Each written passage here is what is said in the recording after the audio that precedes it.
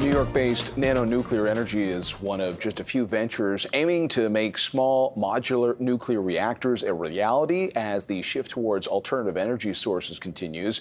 In the case of Nano, they're developing reactors small enough to be transported via truck or train. The company was added to the Russell 3000 index earlier this month. And for more, we're joined by James Walker. He's the CEO and head of reactor development at Nano Nuclear Energy, joining us from Vienna, where the International Atomic Energy Conference is currently underway.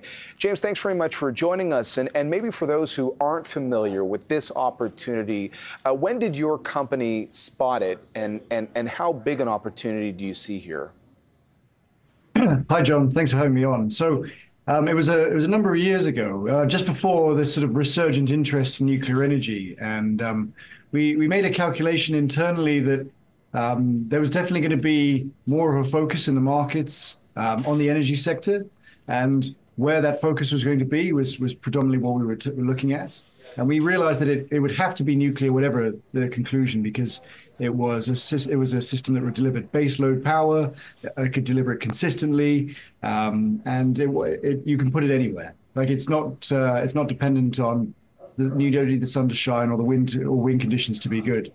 But when we looked at the nuclear industry and where we could fit in, we realized that at the microreactor level, um, there was the least um, amount of development because larger reactor systems like small modular reactors, which is larger than what we want to produce, they were sufficiently well developed. But the microreactor um, uh, space was much less developed. And we actually believed it was the much larger potential market because this was an area where diesel was catering to. Um, but uh, they had no competition.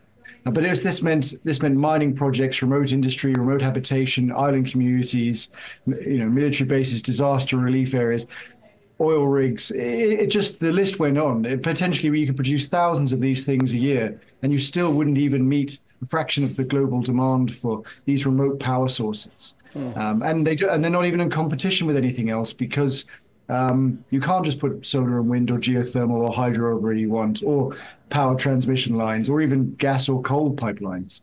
But this is when you're when you're providing power for smaller um, for small requirements in remote locations. You, it's just diesel reigns supreme, and we can actually we, are confident we can beat out the price of remote diesel too.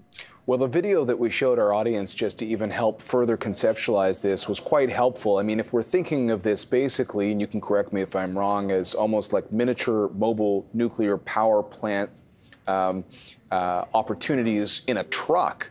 Um, I, I, would. You went through a few different examples there of uh, certainly remote um, uh, areas where there could be uh, a market opportunity. Do, you talked about mining in terms of the kinds of customers that ultimately would uh, be rewarded by using this technology. Is it going to be a lot of uh, the mining industry, or, or to your earlier point, like disaster relief as well? Yeah, so certainly those sort of remote industries could benefit enormously. And some of our conversations with mining companies have actually started already because it's not just um, process heat from the reactor to concentrate ore in remote locations. It's also electricity for accommodation, electricity for charging vehicles, um, and then and those and, and, that sort of remote power can extend it way beyond sort of the ability of a mining company. So we've had some uh, number of conversations with governments in Indonesia, Philippines, Thailand, um, and they've got hundreds of millions of people scattered across dozens of islands.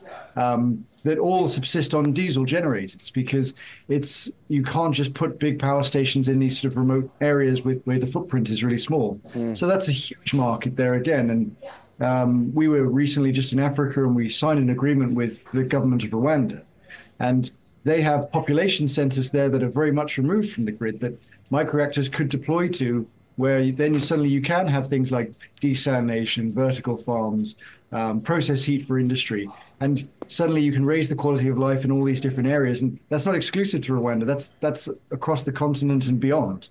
Um, so again, a hu- huge potential market.